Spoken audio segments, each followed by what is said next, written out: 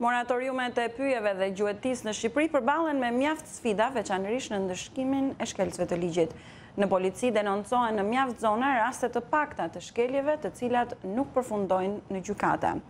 Afrimi i stinës së dimrit rrit dëmet në pyje prej shfrytëzimit për dru zjarri dhe pasojat për gjuetinë bëhen edhe më të mëdha. Korrespondenti Raimond Kola sjell hollësitë.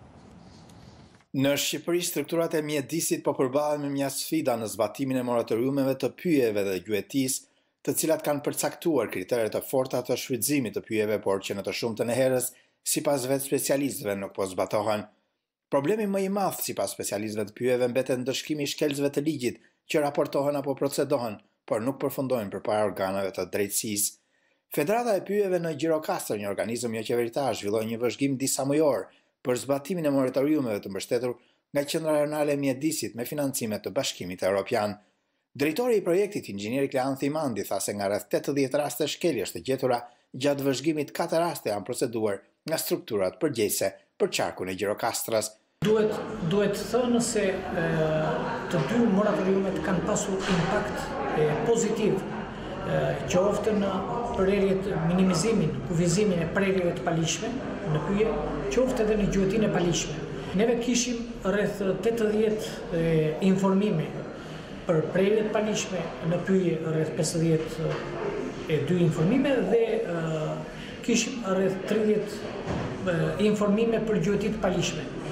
Nga të gjitha këto raste, e u evidentuan dhe u proceduan katër raste ose për shfrytëzim të paligjshëm të pyjeve në territorin e ish rrethit Gjirokastër, kryesisht ato janë në bashkinë Gjirokastër dhe bashkinë Libohovë, dhe nuk kishim asnjë procedim për gjueti të paligjshme. Por ndërsa në moratoriumin e pyjeve në disa rajone reagimet e strukturave shtetërore janë më energjike për zbatimin e moratoriumit të gjuetisë, mungojnë rastet e denoncimit të shkelësve.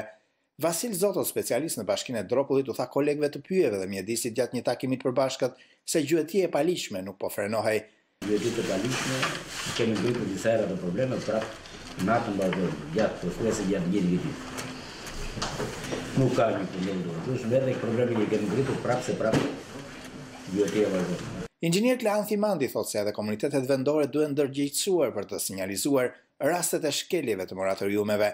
Ai tha se përpjekjet janë bërë për të pasur komunitete të informuara të cilat duhet të bashkëveprojnë më shumë me inspektoratet shtetërore. Një komunitet vendor më i përgjegjshëm e më sensibël ndaj këtyre temave të nxehta për mbrojtjen e mjedisit në tërësi, pyjeve, kullotave dhe florës e faunës. Specialistët e mjedisit po shohin gjithnjë më me shqetësim se edhe situata e strukturave që veprojnë në mjedis është joprofesionale. Partitë politike ndërhyjnë të emërojnë gjatë këtyre viteve në këto struktura specialistë jashtë kritereve dhe kjo u ndoq edhe nga bashkitë që morën më shumë kompetenca në menaxhimin e pyjeve dhe të territorit. Afrimi i dimrit sipas specialistëve të pyjeve rrit rrezikun e dëmeve kryesisht drejt shfrytëzimit për dru zjarri por edhe hapjes së sezonit të gjuetisë. Në mjaft zona nëse qeveritë vendore nuk do të trajtojnë në kohë furnizimin e banorëve për ngrohje, dëmet pritet të shtohen. Për Zërin e Amerikës nga Gjirokastra, Rajmond Kola.